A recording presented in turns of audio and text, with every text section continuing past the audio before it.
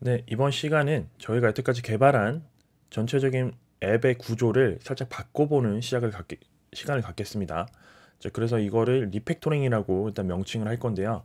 자, refactoring이라고 하는 부분이 바로 이 전체적인 페이지에서 어, 공통적으로 사용되는 부분들을 component로 뽑아내는 작업들을 진행을 할 거예요.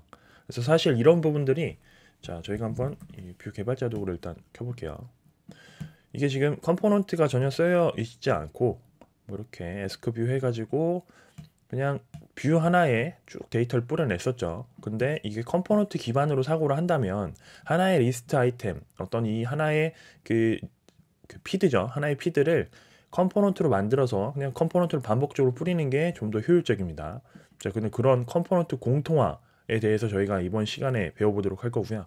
그리고 처음 사실은 처음에 설계했을 때 좀 더 이제 component 기반으로 설계하고 접근했으면 이런 그 지금 refactoring까지 갈 필요가 없었어요.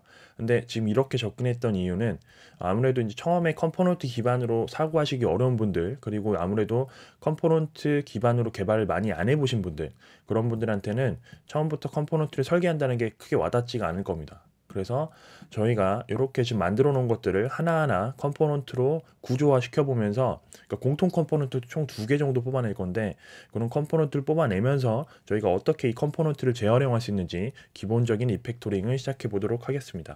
자 그럼 바로 다음 시간부터 component refactoring 진행하겠습니다.